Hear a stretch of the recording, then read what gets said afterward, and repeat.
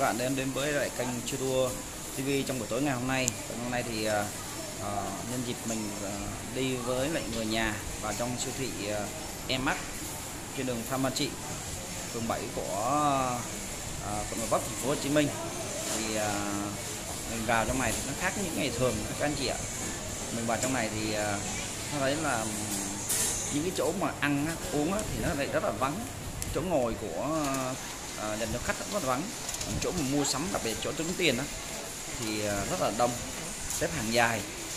À, người phải chờ cả tiếng đồng hồ mới à, tính tiền được. Thì tôi phát hiện ra rằng là ai cũng đeo khẩu trang ở trong siêu thị này. Và hai nữa là à, rất là nhiều người đang gọi là tích lũy à, đồ lương thực thực phẩm cho gia đình mình trong ngày hôm nay. Và hôm nay là cũng ngày ngày 24 tháng 3 thì nó là lệnh à, cấm à, của các quán xá nhà hàng à, các à, nơi neo hay là tiệm tóc kia à, gắt hơn. Và số ca nhiễm thì à, virus corona trên địa bàn thành phố Hồ Chí Minh nói riêng cũng như là cả nước nói chung nó lại tăng lên.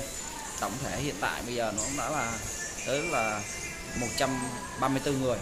Đó, tính đến à, 22 giờ ngày hôm à, hôm nay đó là ngày 24 của tháng 3 và dự định trong những ngày tới sẽ tăng hơn. Và à, mọi người đang rất là lo lắng bởi vì sợ rằng nhà mình sẽ bị thiếu lương thực thực phẩm nên mọi người phải đi ra ngoài siêu thị.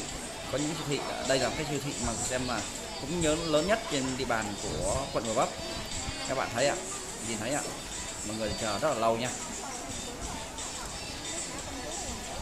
Chào các bạn đây đang có mặt tại siêu thị uh, Lotte uh, cái mắt của à, khu cầu Vấp thành phố Hồ Chí Minh. Hôm nay ngày 24 của tháng uh, tháng 3 thì hôm nay là ngày cấm ờ, toàn cảnh ờ, của tất cả các quán xá là những nơi đông người. Hiện nay tôi đang ở một cái siêu thị gọi là lớn nhất của Gò Vấp.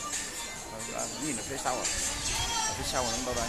Thì mọi người đang tranh thủ mua đồ cho ngày mai và một tuần tiếp theo. Thì dự định là nó sẽ uh, kéo dài trong cái virus corona này.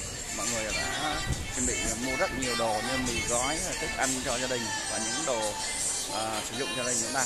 Có thể là nhìn ở phía sau ạ. à rất là đông.